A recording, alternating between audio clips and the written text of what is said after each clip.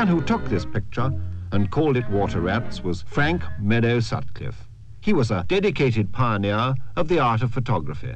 It was an art which cost him much wear and tear of spirit, but for Sutcliffe nothing was too much trouble. He was a man with an obsession, to record the town where he lived so completely that no corner, no cobble, no chimney, no creased face of any local character would be left out of his extraordinary catalogue. Between the 1880s and the turn of the century, he took hundreds and hundreds of photographs. They've come down to us as a prospect of Whitby.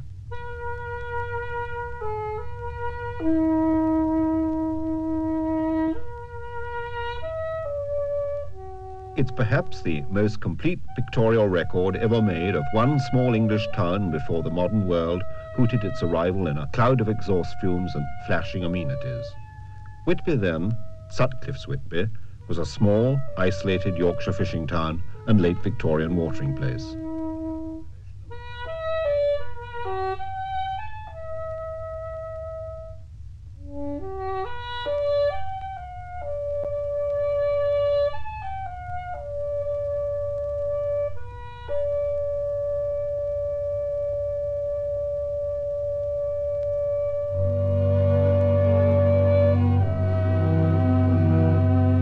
When Sutcliffe was setting up his camera to catch the first morning light etching out the rigging of the ships in the harbour, he too was preserving a fragment of an England that has vanished forever. An England before the coming of supermarkets and bingo halls, automats and wimpy bars. An England before dreamland.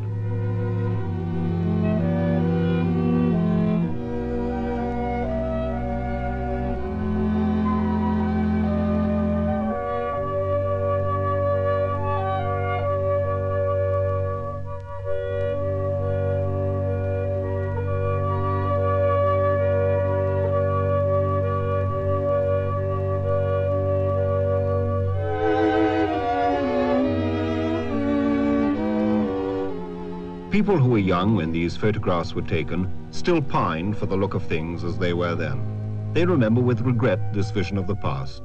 They know, in spite of all that's happened to make life easier, that the cost of being alive in the modern world is a huge loss of beauty like this.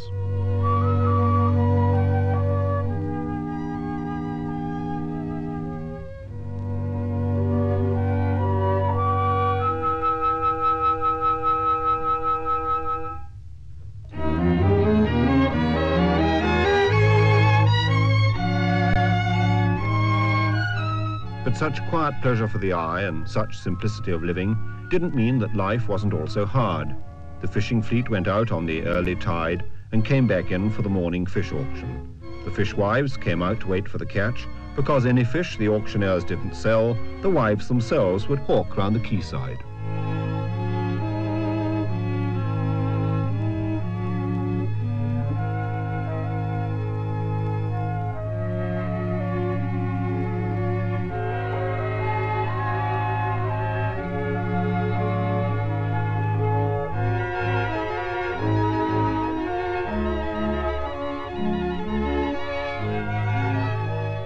It was a hard life, and a fisherman's wife was lucky if her husband handed her over 20 shillings in one week.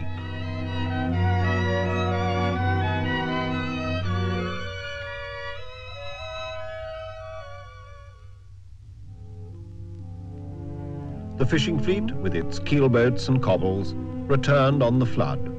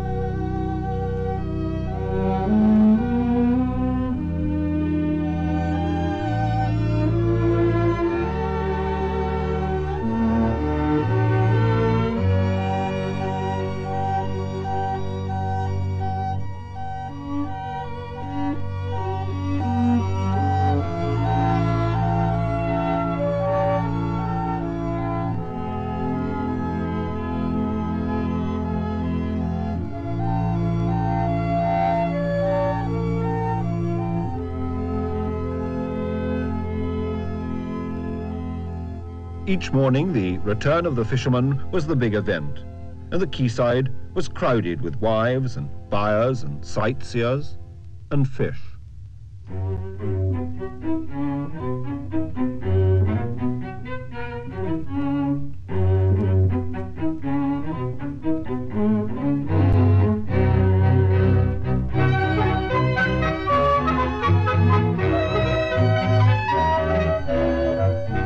As the morning fish auction, Whitby had her famous turkey market.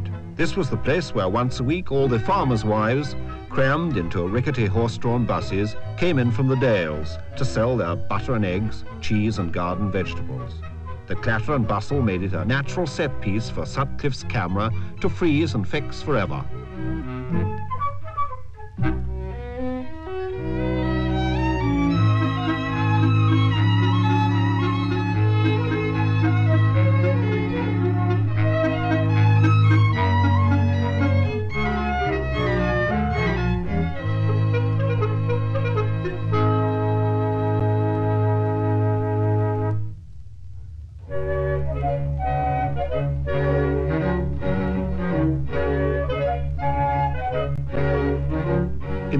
Century, the town had suddenly boomed as a whaling port, and the shipyards in the upper harbour had banged and clattered with activity as Whitby turned out some of the best-built wooden ships in England.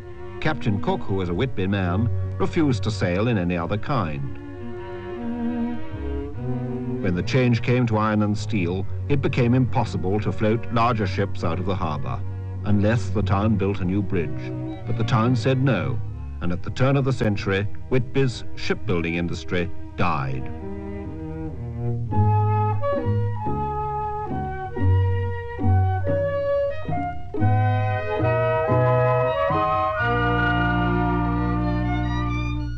There seemed always to be the promise of new horizons.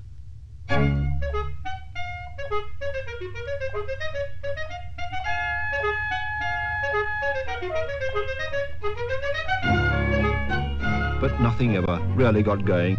So ordinary people did what they could, adjusted to the slow pace of decline, waited on the tides. When the sea crawled out of the harbour, stranded ships lay like whales on the sands. Whitby, unlucky in its own fortunes, was a notorious hazard for mariners. But the locals could always earn an extra shilling, helping to get ships afloat again.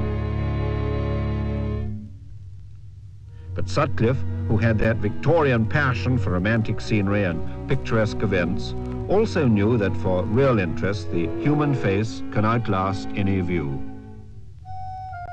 The fishermen who posed so carefully for him were the same fishing families, the Storrs, the Winspears, the Leadleys and the Hutchinsons, as those who still sail out of Whitby today. For Sutcliffe then they looked as though they'd come straight out of a, an illustrated Dickens novel.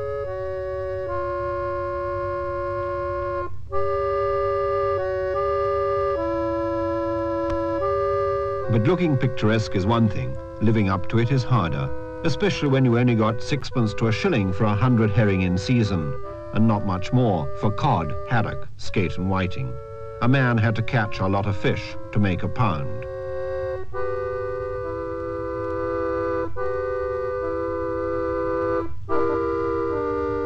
And the sea asked more of him than that.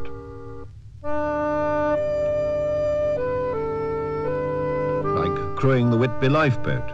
Then even the feuding families forgot their rivalries and fought to have a place in it. For in winter, the fishermen knew fearful storms.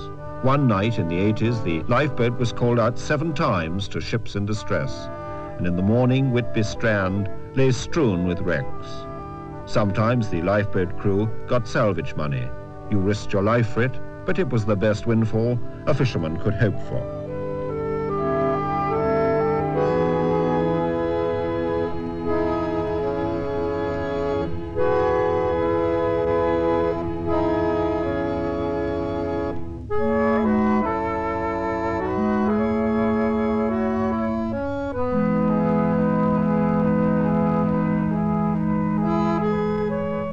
Fishermen's wives were working members of the family team. They looked after the money. Out of 20 shillings a week, one shilling would go on rent, 12 shillings on food, and what they saved went at the upkeep of boats and nets and tackle. At low tide, the wives would gather driftwood to make floats for the nets, or they went out to collect cockles and mussels, which they used as bait. Then they'd set to work to bait the lines. On every line, 400 hooks, and on every hook, a mussel. A long, laborious job, and just one job in a long day's work.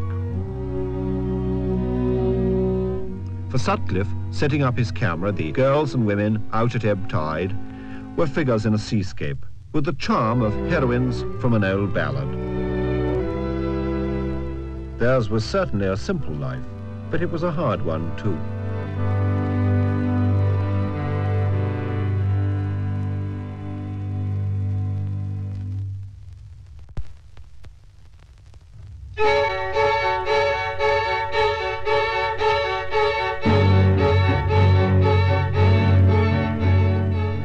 It was also in the 80s that they built new railway lines into Whitby, and bands of navvies swarmed over the moors and dales, making viaducts and cuttings to open up Whitby to the rest of the north at last.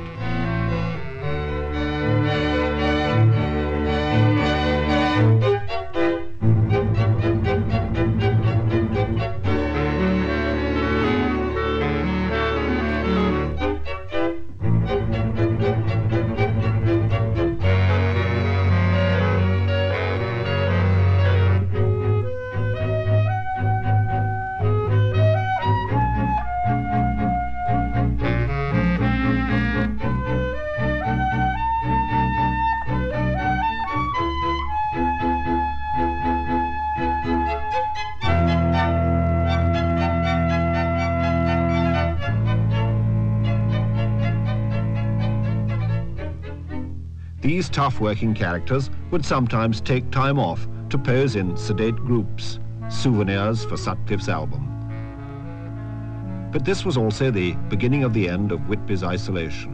Whitby was trying to become a holiday attraction, and soon Victorian families were arriving in force to gulp down tingling draughts of North Sea air and discover the paraphernalia of sea bathing, donkey rides on the sands, clean rooms to let in Park Terrace.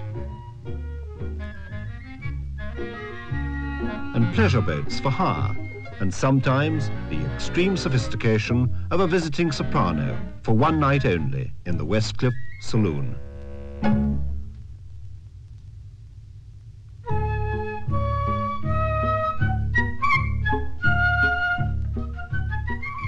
In the summertime, the tradesmen prospered and they liked to stand, solid and sober, for Sutcliffe to picture them against their shop fronts and their wares.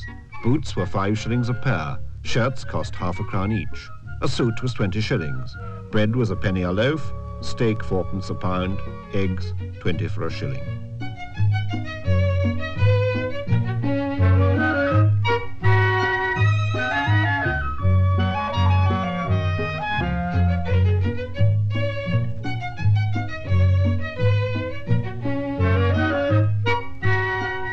Tradesmen were part of a world where the values had hardly changed in a hundred years. But in the country dales outside Whitby, the creamy pastoral vision of an England of watermills and dairy farms and 18th century manor houses seemed like a paradise which had existed untouched for centuries. Sutcliffe, who was a friend of Ruskin and whose father had been a painter, composed his landscape photographs with infinite patience and an artist's eye. He worked with an old tripod camera. He prepared his own plates, and as he hunched himself up beneath the black velvet cover to keep the light out, he'd wait for the seconds to tick by while the milkmaids and the farm hands held their poses until his pictures were safely on the plate.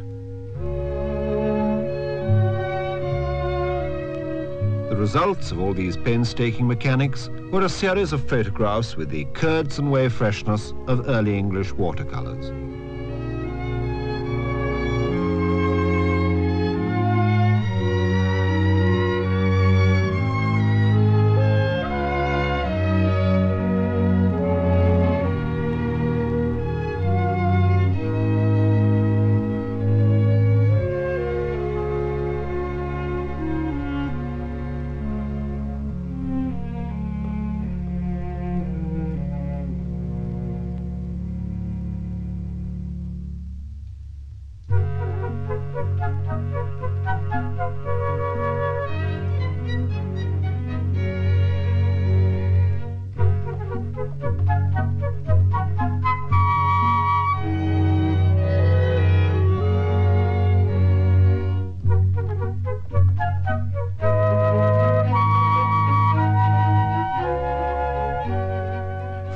Domesticated countryside to the wildness of the inhospitable sea. These were the extremes of nature which made the background of Sutcliffe's Whitby, the town which he wanted to record so completely that nothing would be left out of the catalogue of time and seasons, from summery picnic days in the Yorkshire Dales to the wreck-strewn mornings of the Whitby winter.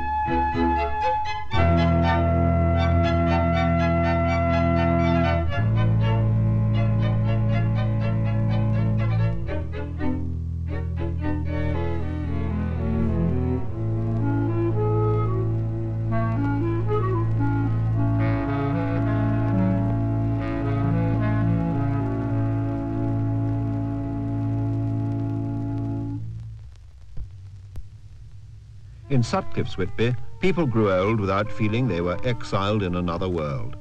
They'd worked all their lives, and no one had come along to tell them about self-service and ready mixes, and how to serve a meal in seven seconds and threepence off, or how to stay young and slim forever. But the generations could still talk to each other, and no one had come along either to spoil the beauty of the place where they lived.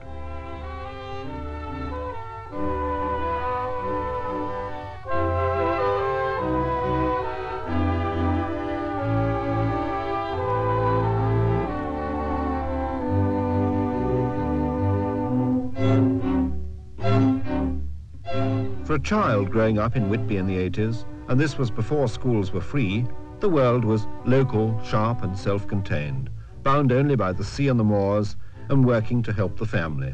But in the summertime, with no school to go to, unless your father wanted to pay threepence a week for you, the beach and the sea became a magical playground. A boy growing up in Whitby then, idling away in the Yorkshire summertime, would never have guessed that his town was shrinking, that nothing much was going to prosper there. The whaling trade had failed, shipbuilding had died, the jet industry was finished, local fishing had never become important enough, and the tourists never came in sufficient numbers to make Whitby a great English resort. The economics of Whitby were already a problem. But for Sutcliffe, out with his camera, and for the boys who posed for him, the prospect of Whitby looked as still and bright and luminous as a fine summer morning. The 20th century hadn't arrived.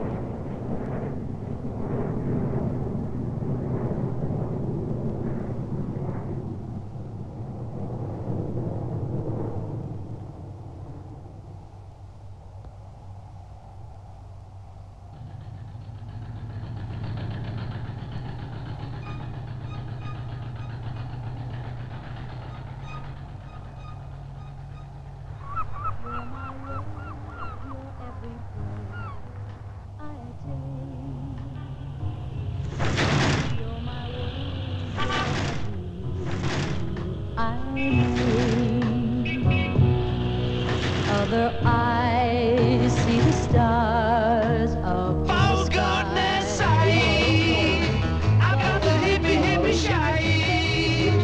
Yeah, I got the shakes. I got the hippie hippie shakes.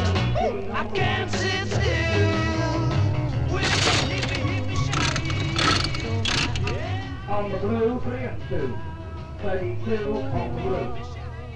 I've got a red number down street.